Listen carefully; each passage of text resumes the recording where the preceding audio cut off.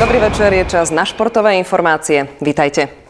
Iba pár hodín pred začiatkom finálovej série Extraligy basketbalestiek zaznela šokujúca správa. Družstvo Good Angels po tejto sezóne definitívne končí. To, čo generálny manažér Daniel Jendrichovský už v minulých sezónach neraz naznačoval, je dnes definitívne pravdou. Cristiano Ronaldo zostáva na streleckom tróne Ligy majstrov.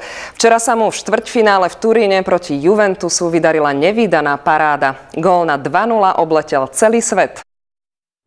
Zinedine Zidane spomenul gól, ktorým rozhodol o triumfe Realu Madrid v Lige majstrov v roku 2002.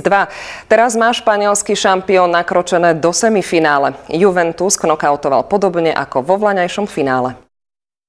Štvrťfinále Ligy majstrov má dnes miesto aj na obrazovkách RTVS. Na jednotke vám ponúkneme anglický súboj FC Liverpool Manchester City.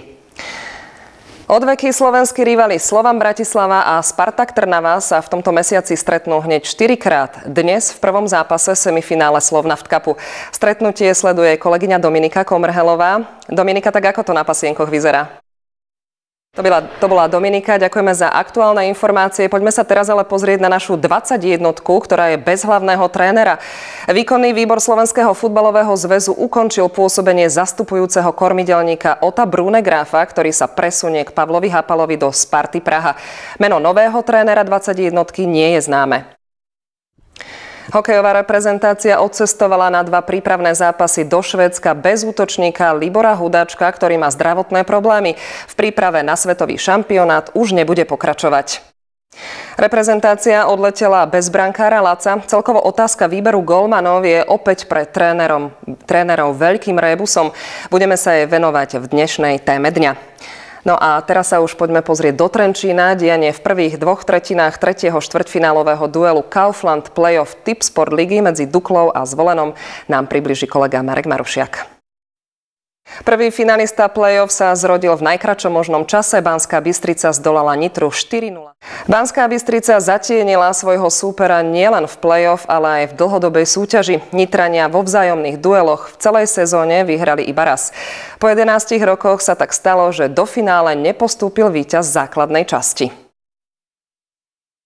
Nominačný boj o majstrovstva sveta bude tradične tuhý na brankárskom poste. Isté je, že z neho vypadli zranený Branislav Konrád a pre rodinné povinnosti Julius Hudáček. Na tri miesta je však ďalších 5 alebo 6 adeptov. Hoci je príprava na majstrovstva sveta v Dánsku iba na začiatku, našim trénerom sa črta petica vážnych ašpirantov na tri nominačné miesta.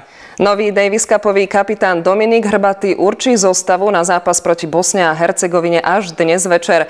Kapitán súpera takéto problémy nemá. Singlová zostava je už dlhšie jasná. Ministerka školstva, vedy, výskumu a športu Martina Lubiova odovzdala našim paralympijským reprezentantom z Pyeongchangu ďakovné listy a odpovedala na otázky problematiky financovania športovcov.